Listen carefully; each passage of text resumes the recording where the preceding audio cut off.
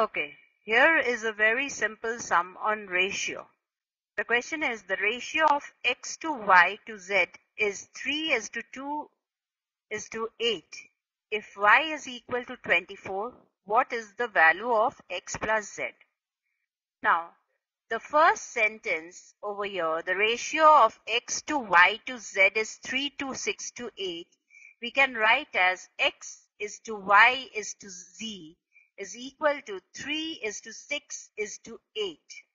Now, this we pronounce it either as z or z. Now, 6 times 4 we know is 24. When y is equal to 24, what will be the value of x plus z? So, in place of y, in place of y, we are writing 24. So x is to 24 is to z. We can write as 3 times 4 is to 6 times 4 is to 8 times 4 since 6 times 4 is equal to 24 is equal to 12 is to 24 is to 32.